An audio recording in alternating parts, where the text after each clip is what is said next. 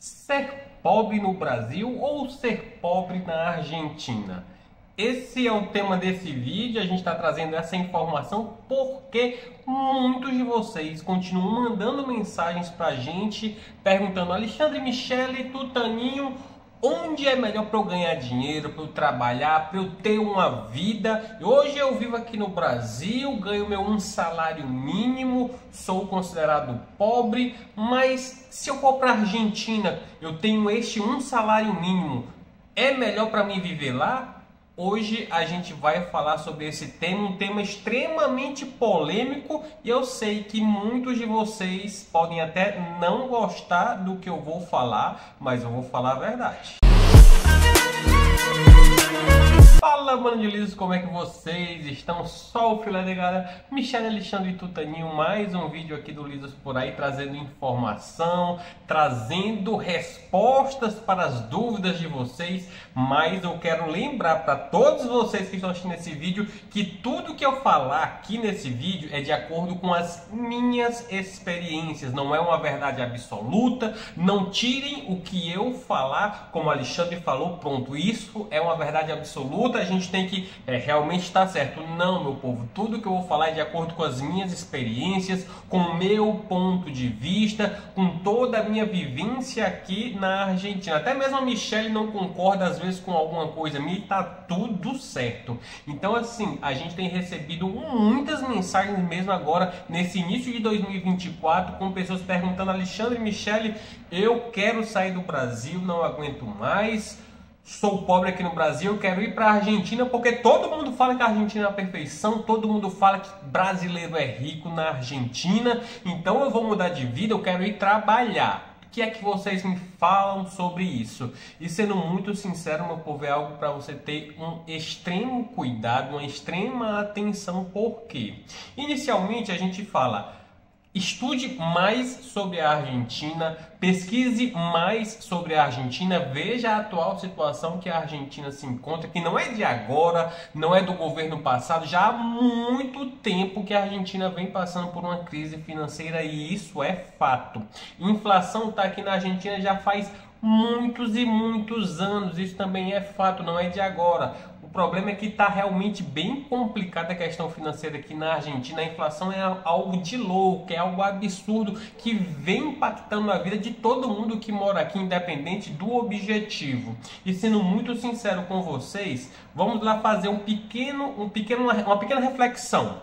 Você está no Brasil, você ganha um salário mínimo. Você vai ter este valor para gastar aqui na Argentina? Você vai estar tá com seu salário em real? Esse é o primeiro ponto para a gente refletir, porque vamos lá. Alexandre, dá para viver com um salário mínimo brasileiro aí na Argentina? Depende. Sendo muito sincero, eu acho extremamente complicado. Porque, mas Alexandre, o pessoal não fala que o campo é maravilhoso, o brasileiro é rico. Essa é uma das falácias mais talvez inconsequentes que a gente vê e fica com tanta dor assim de cabeça quando a gente vê tanto canal legal falando às vezes isso e que não é uma realidade tão grande por quê? Porque se você vem a turismo, meu povo, você vai vir com um poder de compra legal, aí você tem aquela, aquele dinheiro para gastar. É uma situação totalmente diferente do que você vir aqui para a Argentina para viver, para morar, para estudar. São realidades que não se conversam. Então, assim, existe inflação sim. Quando o brasileiro chega com uma renda em real, não é que ele vai ser rico, não é que vai ter dinheiro demais, mas você vai ter uma, entre aspas, uma estabilidade um pouco maior, porque sim, o real rende mais, o real ele tem uma cotação interessante, porém a inflação hoje, meu povo, já está passando dessa grande vantagem que era o real. Quem ganhava em real antigamente tinha uma estabilidade interessante, sentia muito menos a inflação, mas hoje já sente bastante a inflação. Essa é uma realidade que a gente tem que falar para vocês. Então, assim, se você vem ganhando um salário mínimo, tenha essa certeza que realmente não será fácil. Um salário mínimo para se manter na Argentina, um salário mínimo brasileiro para se manter na Argentina, não é fácil. Por quê? Porque a questão de aluguel é algo realmente muito complicado. Os aluguéis estão aumentando a cada dia. É muito complicado você conseguir alugar um apartamento. Você gasta um valor extremamente elevado para entrar no apartamento. E os aluguéis estão bem elevados. Os valores do aluguel estão aumentando. Mas Alexandre não vai parar, não? Não existe uma estimativa para o valor do aluguel estabilizar ou começar a baixar. Pelo contrário, tudo isso está no crescente, está aumentando. Então você tem que ter essa mentalidade, você tem que ter esse entendimento inicialmente para vir aqui para a Argentina, que realmente um salário mínimo, dependendo do seu estilo de vida, não vai chegar no fim do mês. Tem gente que, Alexandre, eu consigo viver com salário mínimo. Ok, tem gente que diz que consegue, mas a gente tem que ver qual é a condição que essa pessoa vive. Será que ela vive no hostel? Será se ela vive compartilhando um quarto? Será se ela conseguiu um apartamento? São várias vertentes que a gente tem que ponderar e verificar qual é a realidade. Tá entendendo? Então, quando a pessoa fala, ah, com um salário mínimo eu vivo tranquilamente, tudo é perfeito, dá uma um passo atrás e dar uma pesquisada para entender qual é a real situação. E se você pensar, Alexandre, não, mas eu não tenho salário, não vou conseguir ter nenhum tipo de renda em real, vou para a Argentina para trabalhar, para mudar de vida, para ganhar dinheiro, para até mesmo ajudar a minha família lá no Brasil. A gente recebeu várias pessoas falando isso com a gente e eu vou repetir justamente o que eu falei para essas pessoas. Tenham muita atenção com isso. Alexandre, é fácil conseguir trabalho na Argentina? O brasileiro chega, não falta trabalho, porque todo mundo está dizendo que assim, o brasileiro não trabalha se não quiser, porque está chovendo trabalho. Não é essa a realidade. Sendo muito sincero com vocês. Pode até ter uma facilidade ou outra, principalmente em Buenos Aires, quando a gente, a gente fala, ah, trabalhar com turismo. Às vezes você realmente consegue ter um, um entrar no, no mercado de trabalho para trabalhar na parte turística com um pouco mais de facilidade em Buenos Aires, porque Buenos Aires é o centro turístico do país. Porém, meu povo, não é uma certeza quem vem e consegue tra um trabalho em um curto período, que legal, que massa, mas não é a realidade de todo mundo, meu povo. A gente conhece várias pessoas que chegaram aqui na Argentina pensando que conseguiria trabalho facilmente e passaram meses para conseguir trabalho. Ah, Alexandre, é porque não se dedicou, é porque não quis. Não, meu povo, não é assim. Não Tirem esse negócio da cabeça que está chovendo emprego. Lógico, vai ter lugares que pode ter uma opção de trabalho que você consiga ter uma rapidez em conseguir esse trabalho, por exemplo, a parte gastronômica, a parte de entregar comida, até mesmo muitos brasileiros que recém chegam na Argentina começam trabalhando, pô, vendendo comida, fazendo alguma coisa, trazendo alguma coisa do Brasil, coxinha, brigadeiro, empan, é, é, empanar, empadas, né? Empanada daqui, a empada, faz comida e vende. Isso acontece com uma certa frequência.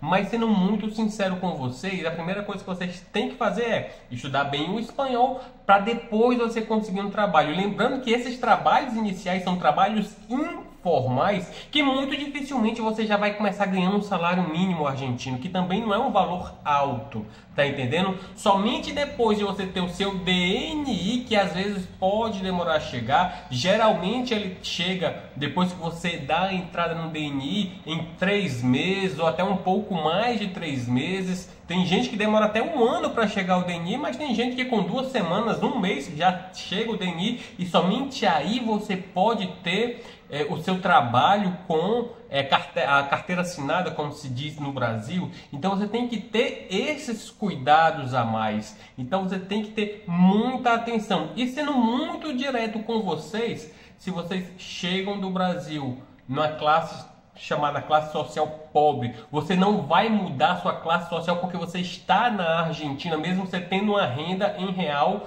a mesma renda que você está no Brasil. Se você está numa situação social no Brasil com uma renda em real, você chega na Argentina com essa mesma renda em real, você não vai mudar sua classe social. Aqui você pode ser que tenha um pouco mais de qualidade de vida, na questão de um lazer maior, uma acessibilidade a algumas coisas que no Brasil talvez você não tenha devido à região que você vive, e isso é fato. Porém, meu povo, você tem que ter muita atenção na hora de ah, Alexandre, eu vi não sei quem falando que é tudo muito fácil, tudo muito simples. Não, vamos ter muita calma, muito cuidado. Esse vídeo é para alertar você que está pensando, ah, é melhor ser pobre na Argentina do que ser pobre no Brasil. Pense repense. Infelizmente, a gente já viu vários casos de pessoas vindo para cá, meu povo, sem nenhum tipo de planejamento financeiro, principalmente, porque a gente sempre fala: vem com pelo menos seis meses de reserva para você se manter, para que os seus planos possam dar certo, porque é complicado o início. E teve gente que já veio para cá, meu povo, sem nenhuma reserva, chegou aqui nem com dinheiro para passar um mês e teve muitos e muitos problemas, problemas terríveis que assim é difícil de se resolver e ter que acabar voltando para o Brasil sem poder até lutar pelo que gostaria de fazer. Então esse vídeo é um alerta para você, é para te mostrar que a realidade varia de pessoa para pessoa, a realidade varia de experiência de pessoas para pessoas. Eu tenho uma experiência aqui na Argentina, o pessoal diz: ah, você gosta da Argentina? Gosto demais da Argentina, tenho um carinho gigantesco pela Argentina. E tem pessoas que vêm aqui para a Argentina, às vezes com o mesmo objetivo que eu tenho, porém tem experiências completamente diferentes e vai embora da Argentina dizendo que a Argentina é terrível, que não gostou da Argentina, que não tem nada que preste para ela. São experiências diferentes que fazem cada pessoa ter uma visão diferente. Tá entendendo? Então, se você pensa em vir para a Argentina, planeje, faça um planejamento bem interessante. Não importa se você vai ter que esperar meses ou até mesmo mais de ano, mas faça tudo direitinho para que todos os seus planos deem certo. Veja qual é o seu objetivo para ver se vale a pena você vir aqui para a Argentina agora. O objetivo, acho que é o segredo de tudo. Se você quer ganhar dinheiro, se você quer trabalhar, veja se realmente está valendo a pena esse momento você vir para cá. Se você quer vir estudar, se você quer fazer qualquer outra coisa, se vale ou não vale a pena, somente você pode dar resposta. Não é o que eu estou falando. Utilizem o que eu estou falando para vocês refletirem, para vocês pensarem. E somente vocês podem tomar a decisão por vocês. Somente vocês sabem o qual são os objetivos de vocês, tá entendendo? Então não esquece de lascar o Dei Valor nesse vídeo. Eu acho que esse vídeo é extremamente importante para quem está pensando em vir para a Argentina. Compartilhe com as pessoas que pensam em vir para a Argentina, que eu acho que esse vídeo pode ajudar a esclarecer um pouco, fazer as pessoas pensarem um pouco mais se realmente vale a pena ou não vale a pena para cada um. Quem quiser colaborar ainda mais com o nosso canal, hashtag seja membro, se tornando membro do nosso canal, você tem acesso a vídeos exclusivos, sem falar que os membros também assistem o vídeo que todo mundo e sexta-feira, eu Michelle Tutaninho, 8 horas da noite, temos as nossas lives aqui no YouTube, conversando e tirando dúvidas sobre tudo na Argentina. Então, se você pensa em ir para a Argentina, marca aí na tua agenda, sexta-feira, 8 horas da noite, aqui no YouTube, a gente fica conversando e tirando dúvidas de todo mundo. Espero que vocês tenham gostado desse vídeo, meu povo. Um grande abraço.